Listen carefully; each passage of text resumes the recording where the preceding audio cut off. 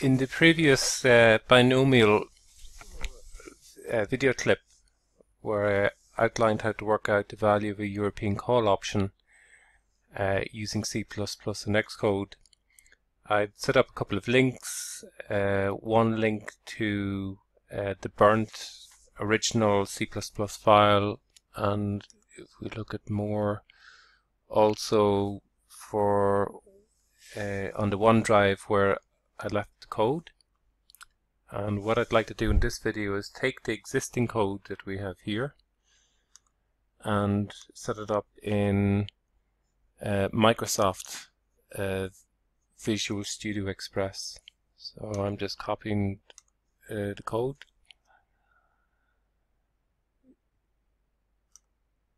And so let's hope that works and then I go into Visual Studio Express and I go to New Project and um, I come down here to Visual C++, Win32, highlight Win32, console application and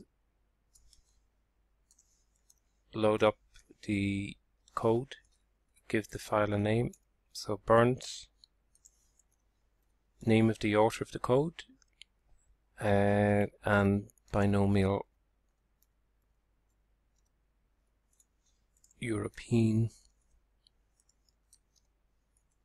call. Okay, and click OK. And we say next.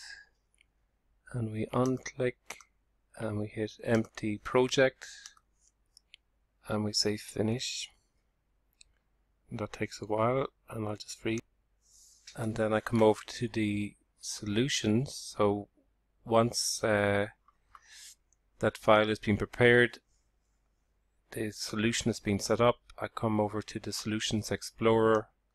I need to input in a main CC file CPP file so add new item. CC, CPP C++ file and we'll call it again Bernt binomial call. And add. And uh, I copied the code from the so I took the code here from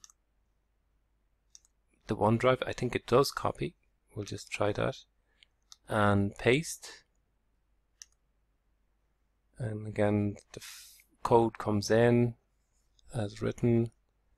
We have the link to the original code and includes iostream. So we've already run this code in in Xcode um, and I want to do the same as before. Um, so we need to add uh, int and load in the parameter of input values that we had uh, used before. So this is binomial code, same as what we have observed in when in the previous video where Xcode uh, was applied and now we want to call up this function and uh, input in specific parameter input values for S, K, R, sigma.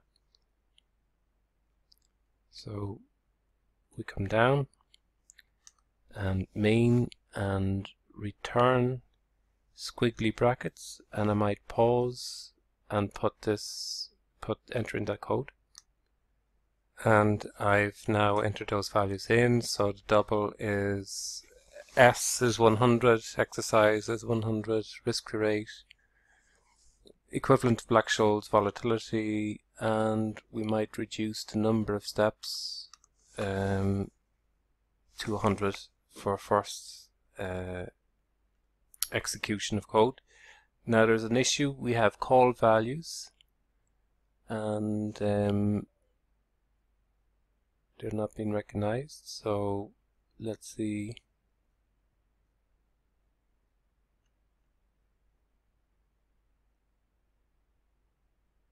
int okay so it's this code it's the problem.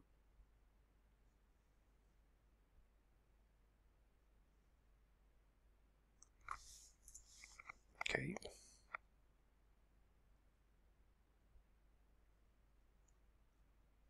Okay so there's no longer any red marks it's just that when I uh, pasted I pasted twice.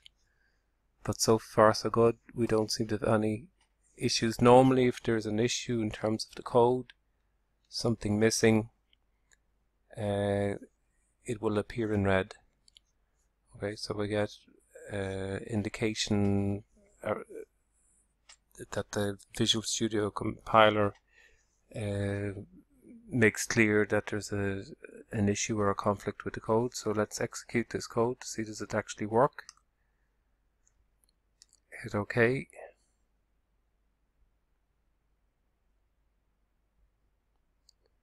should be relatively fast because there's only 100 um, okay so the code actually was worked the problem that arose is that the debug window uh, didn't um, it disappeared. So uh, in order to freeze the debug window for a moment so we can uh, actually look at the result, we have to add an additional bit of code.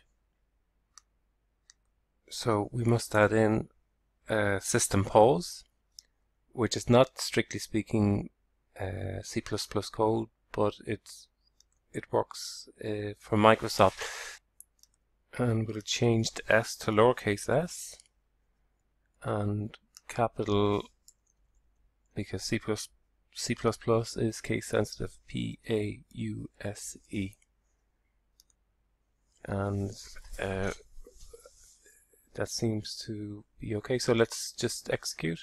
Let's save and execute.